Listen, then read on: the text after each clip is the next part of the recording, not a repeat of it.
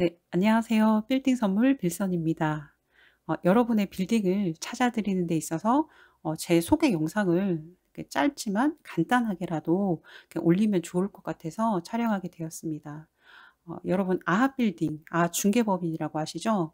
저는 아하 중개법인의 창단 멤버이고 음, 지금은 이사입니다. 처음 매니저부터 시작을 해서 진급을 위한 계약 조건을 다 이행을 해서 어, 이사가 되었습니다.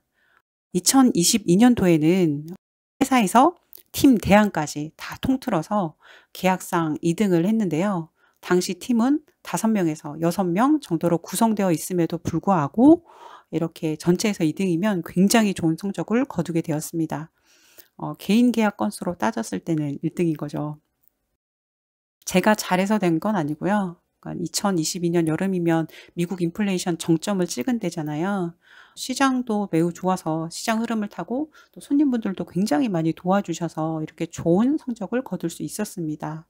어, 도와주셔서 정말 감사드립니다. 항상 잊지 않고 있습니다. 지금은 자산에 거품이 빠지는 과정이면서 또 금리도 굉장히 높잖아요. 그래서 시장이 많이 안 좋습니다.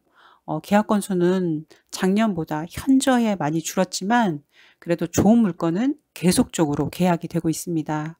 어, 올해 말이면 작년 말에 어, 높은 예금 가입하신 분들이 많으신데요. 이제 만기도 끝나고 금리도 어느 정도 조정될 걸로 보여서 어, 서서히 살아날 걸로 보이거든요. 여러분 자금이 있으신데 은행에 계속 묶어두는 것도 한계가 있고 주식은 하방점이 없어서 위험하고 저도 역시 여러 가지로 합니다. 또 금투자도 있지만 어, 그래도 가, 자산 포트폴리오에서 부동산은 빠질 수 없는 것 같아요. 제가 제 소개 영상을 간단하게 올려드렸는데 시장이 좋으나 안 좋으나 늘 그 자리에 그 자리를 지키면서 열심히 하고 있는 사람들이 많이 있습니다. 믿고 맡겨주시면 좋은 어, 결과가 있을 것이라고 또 생각을 합니다. 어, 시청해 주셔서 감사드리고요. 저는 아합빌딩 김우성 이사, 채널은 빌딩 선물 빌선이었습니다. 고맙습니다.